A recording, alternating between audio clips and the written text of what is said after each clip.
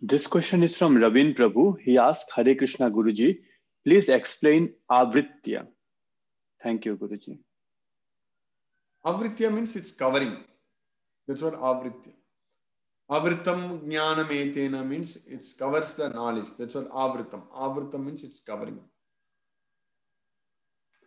Okay. Depends upon context what shloka you are talking about, Prabhu. But in general, the Sanskrit meaning for Avritam, Avritya means it's covering. Hare Krishna Guruji. So, what is being covered here, Guruji? Where, where which shloka you are talking about that Avritam? 14.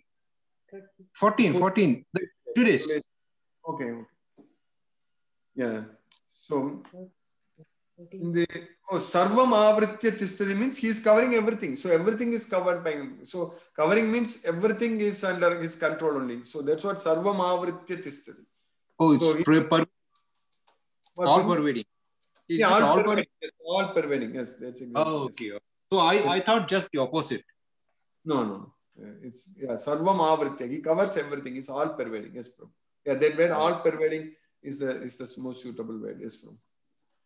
Okay. Uh, Dhanyavad Guruji, I, I have uh, one another question. So, in uh, chapter 1, there is a mention of Nyayam. So, what is the difference between the Nyayam there and uh, the Nyayam here? So, that is the Katham na Nyayam asmati That apada.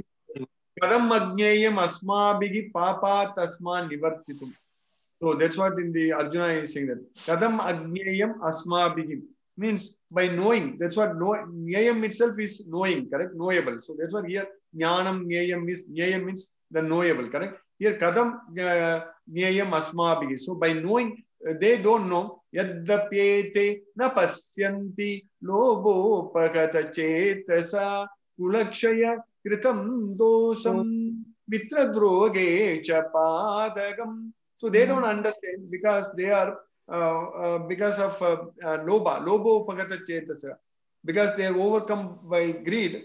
Uh, so because of that, they don't understand uh, the fault in uh, in, in uh, fighting with the friends. So kulakshaya kritam dosam and destroying the family tradition. But kadam Agnyayam asmabi. But we know it. Then why we should engage? So that's what Arjuna is saying. You understand that? point?